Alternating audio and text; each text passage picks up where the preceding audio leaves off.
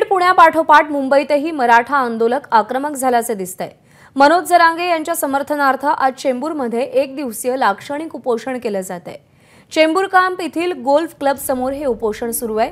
आढावा घेत बातचीत केली आहे सुशांत सावंत यांनी.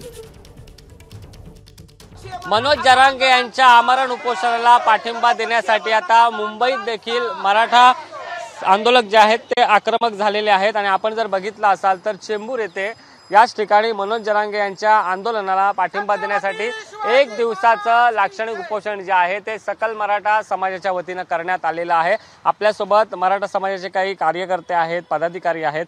काय सांगाल? मनोज जरांगे एकीकडे उपोषण करतायत. तुम्ही देखील त्या उपोषणाला पाठिंबा द्या. आज त्यांची रात परिस्थिती बघितली एकदम बिकट झालेली. आहे. पण या सरकारला अजिबात त्यांच्याकडे लक्ष द्यायला वेळ नाही. म्हणून आम्ही ह्या ज्या एक दिवशीय आंदोलनातून सरकारला इशारा देत आहोत.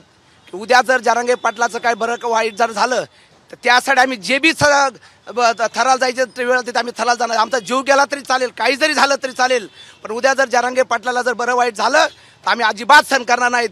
सरकारला एवढंच विचारायचं आहे की मराठा समाजाचे आणखीन किती बळी हवे आहेत सरकारला? इतके तीनशे ते चारशे बळी देऊन सुद्धा ह्या सरकारला ह्या समाजाची क्यू येत नाहीये. आणखीन किती बळी हवे आहेत?